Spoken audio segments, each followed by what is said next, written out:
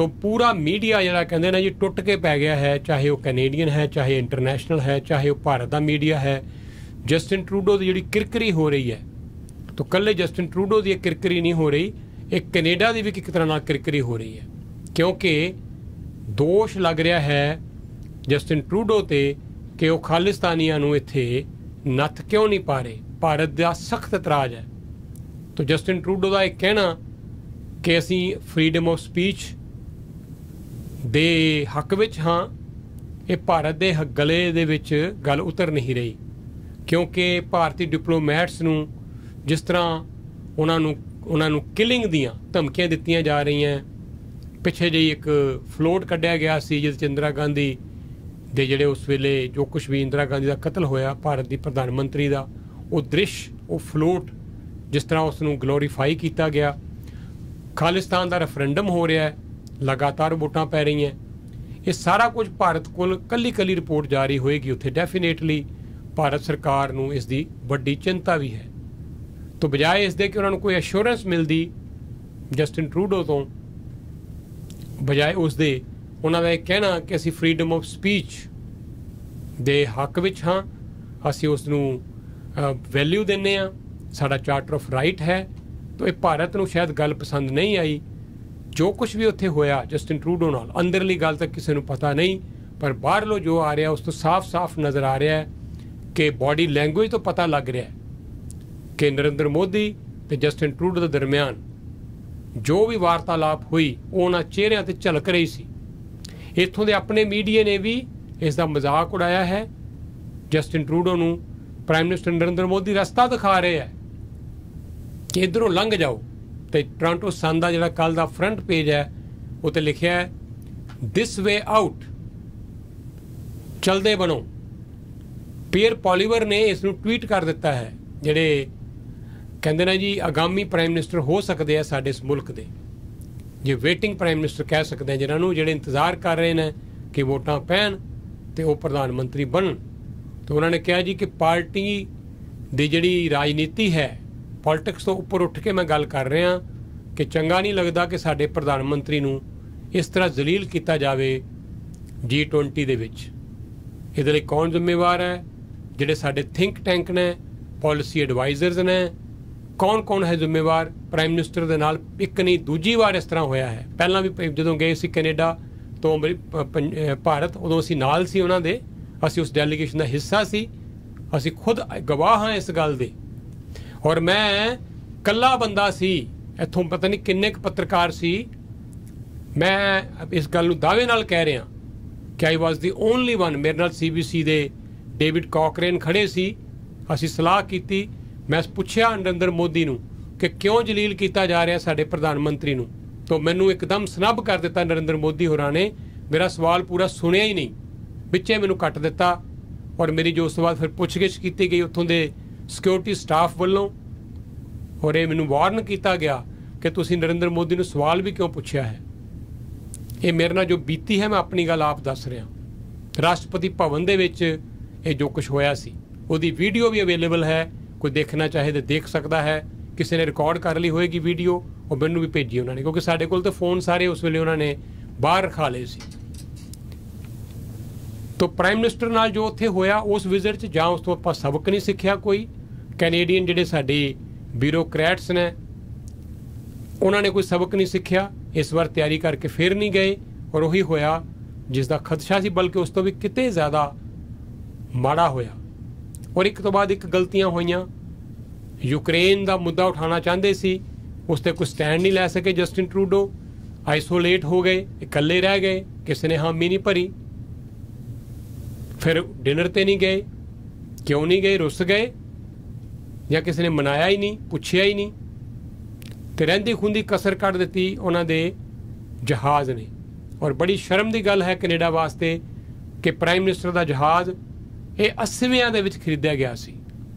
80ਵਿਆਂ ਦੇ ਵਿੱਚ ਖਰੀਦੀ ਗਈ ਟੈਕਨੋਲੋਜੀ, ਅੱਜ ਦੇਖੋ ਤੁਸੀਂ, ਅਸੀਂ 23 ਸਨ 2023 ਚ ਬੈਠੇ ਆ ਉਹ ਜਹਾਜ਼ ਲਈ ਫਿਰਦਾ ਸਾਡਾ ਪ੍ਰਾਈਮ ਮਿਨਿਸਟਰ ਦਾ ਸਟਾਫ ਅਜੇ ਵੀ ਉਹਨਾਂ ਨੂੰ ਕਿਤੇ ਵੀ ਲੈ ਕੇ ਜਾਣਾ ਹੋਵੇ। ਔਰ ਇਹ ਪਹਿਲੀ ਵਾਰੀ ਜਹਾਜ਼ ਬ੍ਰੇਕਡਾਊਨ ਨਹੀਂ ਹੋਇਆ।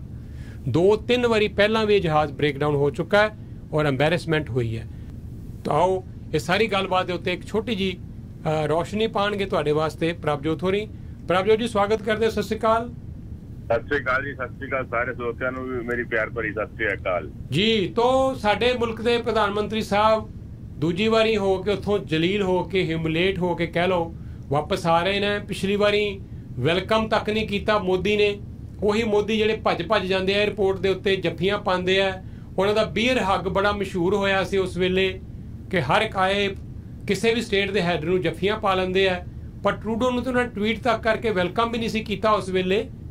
ਪਰ ਉਹ ਤੇ ਚਲੋ ਬੀਤ ਗਈ ਗੱਲ। ਇਹ ਦੂਸਰੀ ਵਾਰੀ ਤੇ ਉਸ ਤੋਂ ਬਾਅਦ ਹੱਦ ਹੀ ਹੋ ਗਈ ਹੁਣ।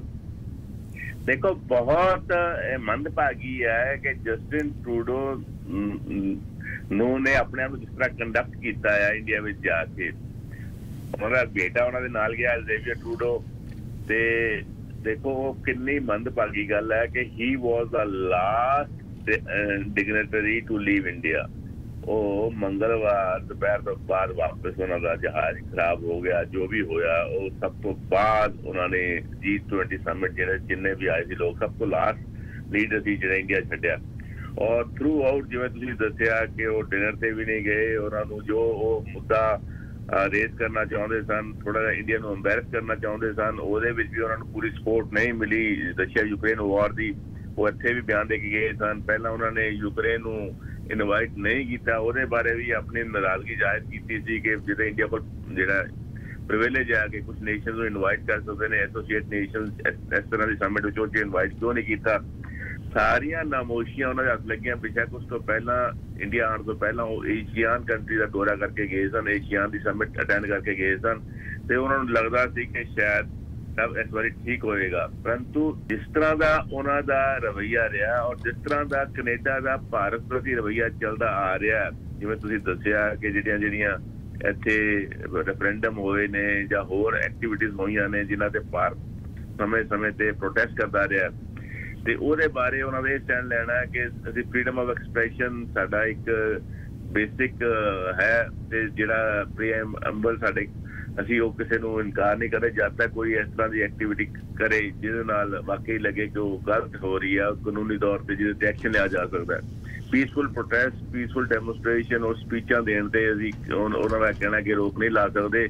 ਸੋ ਜਦੋਂ ਉਹਨਾਂ ਦੀ ਜਿਹੜੀ ਮੁਲਾਕਾਤ ਵੀ ਹੋਈ ਜ਼ਬਰਦਸਤੀ ਨਾਲ ਕੀਤੀ ਗਈ ਮੁਲਾਕਾਤ ਕਹਿ ਸਕਦੇ ਆ ਮੁਲਾਕਾਤ ਕੋਈ ਖੁਸ਼ੀ ਨਾਲ ਨਹੀਂ ਸੀ ਹੋਈ। ਔਰ ਜੇ ਤੁਸੀਂ ਉਸ ਦੀ ਮੁਲਾਕਾਤ ਦੀਆਂ ਤਸਵੀਰਾਂ ਜੋ ਮੀਡੀਆ ਵਿੱਚ ਛਪੀਆਂ ਨੇ ਦੇਖੋ ਤਾਂ ਜਿਵੇਂ ਮੈਂ ਕੱਲ ਵੀ ਕਿਹਾ ਸੀ ਕਿ ਐਨ ਬਸ ਜਿਵੇਂ ਕੁੱਟ ਕੇ ਬਿਠਾਏ ਗਏ ਹੁੰਦੇ ਨੇ ਜੀ ਜੀ ਜੀ। ਤੇ ਉਸ ਤਰ੍ਹਾਂ ਦਾ ਜਦੋਂ ਬਿਹੇਵੀਅਰ ਰਿਹਾ ਔਰ ਜੋ ਤੁਹਾਡਾ ਕਈ ਚੀਜ਼ਾਂ ਦੇ ਜਿਹੜੀਆਂ ਇੰਡੀਕੇਸ਼ਨਸ ਹਨ ਉਹ ਪਹਿਲਾਂ ਹੀ ਬੜੀਆਂ 네ਗੇਟਿਵ ਸਨ ਕਿ ਦੇਖੋ ਜਿਹੜਾ ਫ੍ਰੀ ਟ੍ਰੇਡ ਐਗਰੀਮੈਂਟ ਦੇ ਜਿਹੜੇ ਨੈਗੋਸੀਏਸ਼ਨ ਸ਼ੁਰੂ ਹੋਏ ਪਿਛਲੇ ਸਾਲ, ਜਦੋਂ ਪਿਊਸ਼ ਗੋਇਲ ਵਾਪਸ ਇੰਡੀਆ ਕੈਨੇਡਾ ਆਏ ਸਨ, ਉਸ ਤੋਂ ਬਾਅਦ ਉਹਨੂੰ ਫਿਰ ਪੌਜ਼ ਤੇ ਪਾ ਦਿੱਤਾ ਗਿਆ। ਔਰ ਭਾਰਤ ਦੇ ਅਗੇਂਸਟ ਉਹਨਾਂ ਨੇ ਇੱਕ ਐਲੀਗੇਸ਼ਨ ਵੀ ਲਾਇਆ ਗਿਆ ਕਿ ਭਾਰਤ ਕੈਨੇਡਾ ਦੇ ਇੰਟਰਨਲ ਅਫੇਅਰਸ ਵਿੱਚ ਵੀ ਇੰਟਰਫੇਅਰ ਕਰਦਾ ਇੰਟਰਨਲ ਮਾਮਲਿਆਂ ਵਿੱਚ ਵੀ ਇੰਟਰਫੇਅਰ ਕਰਦਾ। ਬੇਸ਼ੱਕ ਉਹਨਾਂ ਨੇ ਡਾਇਰੈਕਟਲੀ ਆਪ ਤਾਂ ਨਹੀਂ ਕਿਹਾ, ਲੇਕਿਨ ਉਹਨਾਂ ਦੇ ਜਿਹੜੇ ਐਡਵਾਈਜ਼ਰ ਨੇ ਜੂਡੀ ਉਹਨਾਂ ਨੇ ਜ਼ਰੂਰ ਕਿਹਾ ਸੀ ਕਿ ਹਾਂ, ਭਾਰਤ ਵੀ ਸਾਡੇ ਮਾਮਲਿਆਂ ਵਿੱਚ ਅੰਦਰੂਨੀ ਮਾਮਲਿਆਂ ਵਿੱਚ ਦਖਲ ਦਿੰਦਾ ਸੋ ਭਾਰਤ ਨੇ ਇਹ ਚੰਗਾ ਨਹੀਂ ਲਿਆ। ਉਹਨਾਂ ਨੇ ਕਿਹਾ ਕਿ ਇਨਸਟੈਡ ਕਿ ਸਾਡੀਆਂ ਜਿਹੜੀਆਂ ਸਮੱਸਿਆਵਾਂ ਨੇ, ਜਿਹੜੇ ਇਸ਼ੂ ਅਸੀਂ ਰੇਸ ਕਰ ਰਹੇ ਹਾਂ ਕਿ ਸਾਡੀ ਡਿਪਲੋਮੈਟਸ ਨੂੰ ਖਤਰਾ ਹੈ, ਸਾਡੇ ਡਿਪਲੋਮੈਟਸ ਅਗੇਂਸਟ ਡੈਮੋਨਸਟ੍ਰੇਸ਼ਨ ਹੁੰਦੇ ਨੇ ਪ੍ਰੋਟੈਸਟ ਹੁੰਦੇ ਨੇ, ਉਹਨਾਂ ਨੂੰ ਮਾਰਨ ਦੀ ਧਮਕੀਆਂ ਮਿਲਦੀਆਂ ਨੇ ਔਰ ਕੈਨੇਡਾ ਦੀ ਧਰਤੀ ਜਿਹੜੇ ਵਖਵਾਦੀਆਂ ਦੇ ਐਲੀਮੈਂਟ ਨੇ, ਉਹਨਾਂ ਨੂੰ ਦਿੱਤੀ ਜਾ ਰਹੀ ਆ ਇੰਡੀਆ ਦੇ ਅਗੇਂਸਟ ਕਰਨ ਦੀ। ਸੋ ਉਹ ਸਾਰੀਆਂ ਗੱਲਾਂ ਨੂੰ ਤਾਂ ਟਰੂਡੋ ਸਾਹਿਬ ਨੇ ਸਵੀਪ ਕਰਕੇ ਕੋਈ ਉਹਦਾ ਜਵਾਬ ਨਹੀਂ ਦਿੱਤਾ। ਸਿਰਫ ਇਹ ਕਹਿ ਕੇ ਕਿ ਸਾਡੇ ਦਾ ਫ੍ਰੀडम ਆਫ ਐਕਸਪ੍ਰੈਸ਼ਨ ਹੈ। ਜਦ ਤੱਕ ਅਸੀਂ ਸਾਡਾ ਕੋਈ ਕਿਸੇ ਦੂਸਰੇ ਕੰਟਰੀ ਬਾਰੇ ਖਿਲਾਫ ਨਾ ਕਰੇ ਸਾਰੇ ਕੰਟਰੀਆਂ ਦੀ ਸੋਵਰਨਿਟੀ ਦਾ ਆਨਰ ਕਰਦੇ ਆ ਲੇਕਿਨ ਜੇ ਇਸ ਤਰ੍ਹਾਂ ਕੋਈ ਪੀਸਫੁਲ ਆਪਣੀਆਂ ਗੱਲਾਂ ਕਹਿਣਾ ਚਾਹੁੰਦੇ ਨੇ, ਤੇ ਸਾਡਾ ਉਸ ਸਿਸਟਮ ਵਿੱਚ ਅਸੀਂ ਉਹਨਾਂ ਨੂੰ ਰੋਕਦੇ ਨਹੀਂ। ਸੋ ਇਸ ਤਰ੍ਹਾਂ ਦਾ ਜਿਹੜਾ ਸਟੈਂਡ ਲੈਣਾ ਸੀ, ਉਹ ਕੋਈ ਵਾਜਬ ਜਾਂ ਨਹੀਂ ਸੀ। ਔਰ ਉਹਨਾਂ ਨੂੰ ਕੋਈ ਸਪਸ਼ਟ ਸਟੈਂਡ ਲੈਣਾ ਚਾਹੀਦਾ ਸੀ ਕਿ, ਕਹਿਣਾ ਚਾਹੀਦਾ ਸੀ ਕਿ ਠੀਕ ਹੈ ਕਿ ਅਸੀਂ ਜੋ ਤੁਸੀਂ ਕਹਿ ਰਹੇ ਹੋ, ਉਸ ਤੇ ਅਸੀਂ ਕੰਸੀਡਰ ਕਰਾਂਗੇ ਜਾ ਕੇ ਐਕਸ਼ਨ ਲਵਾਂਗੇ ਜਾਂ ਜੋ ਵੀ ਕਰਾਂਗੇ।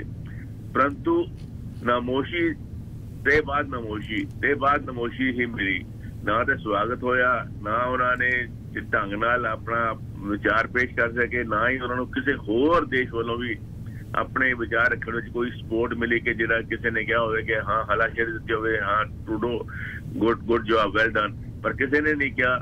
ਫਿਰ ਡਿਨਰ ਤੇ ਨਾ ਜਾਣਾ ਬਾਕੀ ਫੰਕਸ਼ਨਾਂ ਤੇ ਵੀ ਉਹਨਾਂ ਦਾ ਜਿਵੇਂ ਦਾ ਨਮੋਸ਼ੀ ਵਾਲਾ ਰਵਈਆ ਸੀ ਉਸ ਤੋਂ ਬਾਅਦ ਜਹਾਜ਼ ਦਾ ਖਰਾਬ ਹੋ ਜਾਣਾ ਫਿਰ ਇੱਕ ਦਿਨ ਨਹੀਂ ਦੂਜੇ ਦਿਨ ਜਾ ਕੇ ਦੁਪਹਿਰ ਨੂੰ ਮੰਗਲਵਾਰ ਦੁਪਹਿਰ ਨੂੰ ਉਹ ਉੱਥੋਂ ਚੱਲੇ ਨੇ।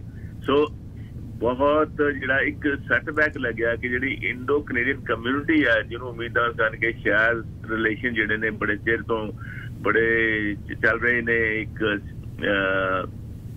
ਉਹਨਾਂ ਵਿੱਚ ਕੋਈ ਰਿਲੀਫ ਮਿਲੇਗਾ ਔਰ ਰਿਲੇਸ਼ਨ ਥੋੜੇ ਇੰਪਰੂਵ ਹੋਣਗੇ ਲੇਕਿਨ 18 ਤੋਂ ਬਾਅਦ 5 ਸਾਲ ਬਾਅਦ 23 ਵਿੱਚ ਉਹ ਰਿਲੇਸ਼ਨ ਬਿਹਤਰ ਹੋਣ ਦੀ ਬਜਾਏ ਬਦਤਰ ਹੋਏ ਨੇ ਹੋਰ ਠੀਕ ਹੈ। ਜਿਹੜੀ ਆ ਵਿੱਚ ਟੈਨਸ਼ਨ ਜਿਹੜੀ ਆ ਉਹ ਵਧੀ ਹੈ ਉਹ ਘਟੀ ਨਹੀਂ ਹੈ ਔਰ ਹੁਣ ਅੱਗੋਂ ਫਿਊਚਰ ਵਿੱਚ ਇਹ ਰਿਲੇਸ਼ਨ ਕਿੱਧਰ ਨੂੰ ਜਾਣਗੇ ਕਿਉਂਕਿ ਭਾਰਤ ਦਾ ਤੇ ਕੈਨੇਡਾ ਦਾ ਲੋਕਾਂ ਦਾ ਤੇ ਲੋਕਾਂ ਦਾ ਕੰਟੈਕਟ ਬਹੁਤ ਮੈਸਿਵ ਹੈ ਬਹੁਤ ਲਾਰਜ ਹੈ ਬਹੁਤ ਸਾਰੇ ਲੋਕ ਕੈਨੇਡਾ ਵਿੱਚ ਭਾਰਤੀ ਮੂਲ ਦੇ ਹਨ। ਜੀ ਤੇ ਉਹਨਾਂ ਦਾ ਭਵਿੱਖ ਵੀ ਇਹਨਾਂ ਰਿਲੇਸ਼ਨ ਤੇ ਬਹੁਤ ਡਿਪੈਂਡ ਕਰਦਾ ਹੈ ਕਿ ਜੇ ਬਾਇਲੇਟਰਲ ਟ੍ਰੇਡ ਨਹੀਂ ਵੱਧਦਾ ਪੀਪਲ ਟੂ ਪੀਪਲ ਕੰਟੈਕਟ ਜਿਹੜਾ ਆ ਉਹ ਕਿਸ ਤਰ੍ਹਾਂ ਸੁਖਾਵਾਂ ਰਹਿ ਸਕੇਗਾ ਆਉਂਦੇ ਸਮੇਂ ਵਿੱਚ ਇਹ ਇੱਕ ਦੇਖਣ ਵਾਲਾ ਮੁੱਦਾ ਰਹੇਗਾ। ਠੀਕ ਹੈ ਬਹੁਤ ਬਹੁਤ ਸ਼ੁਕਰੀਆ ਪ੍ਰਭਜੋਤ ਜੀ ਔਰ ਜਸਟਿਨ ਟਰੂਡੋ ਜੇ ਦੁਬਾਰਾ ਚੁਣੇ ਜਾਂਦੇ ਆ ਮੁੜ ਤੋਂ ਪ੍ਰਧਾਨ ਮੰਤਰੀ ਉਧਰ ਨਰਿੰਦਰ ਮੋਦੀ ਵੀ ਕੀ 2024 ਤੋਂ ਬਾਅਦ ਮੁੜ ਤੋਂ ਪ੍ਰਧਾਨ ਮੰਤਰੀ ਬੰਦੇ ਆ।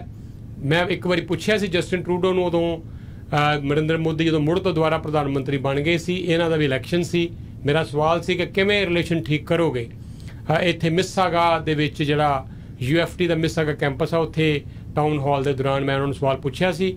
ਉਹਨਾਂ ਨੇ ਕਿਹਾ ਸੀ ਜੀ, ਅਸੀਂ ਹਮੇਸ਼ਾ ਕੋਸ਼ਿਸ਼ ਕਰਦੇ ਹਾਂ, ਇਹ ਸਬੰਧ ਸੁਧਰਨ ਹੋਰ ਬਿਹਤਰ ਹੋਣ। ਤੇ ਮੈਂ ਕਿਹਾ ਸੀ, ਤੁਹਾਡੀ ਪਿਛਲੀ ਯਾਤਰਾ ਤੇ ਵਧੀਆ ਨਹੀਂ ਸੀ ਰਹੀ।